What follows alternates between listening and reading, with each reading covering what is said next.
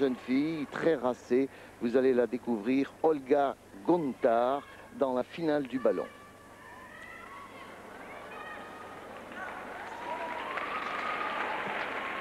Olga Gontar de la Biélorussie, 15 ans.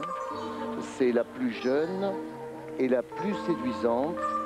Mais c'est vrai que lorsqu'on voit Maria Petrova, Almina Zaripova ou même notre française Eva Serrano, on est à chaque fois séduit par cette formidable prestation de ces gymnastes qui ont une souplesse naturelle exceptionnelle, une adresse et une précision diabolique.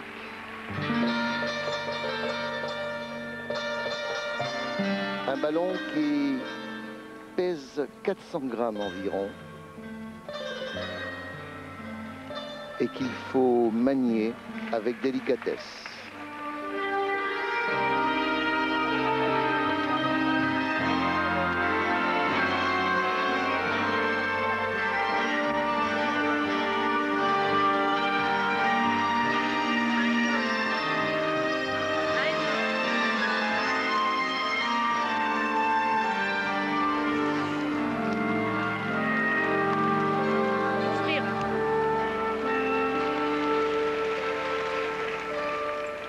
Christelle Sahuc, ça vous rappelle de bons souvenirs aux Jeux Olympiques de Barcelone, vous avez terminé 19e.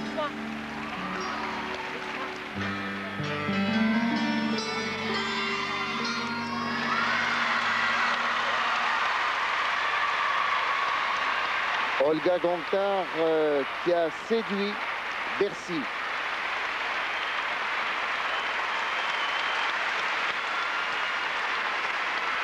Quelle étoile Elle aurait pu être danseuse du Bolshoi à l'époque où elle s'entraînait à Moscou. Et puis elle a choisi la GRS. Je pense que vous avez vu là l'une des toutes meilleures de cette finale du ballon. Et nous la reverrons au ruban.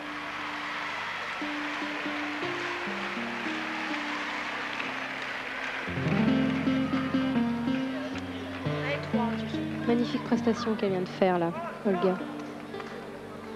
Alors il y a une recherche esthétique jusque dans la coiffure, vous l'avez noté, mais aussi euh, dans l'harmonie des couleurs.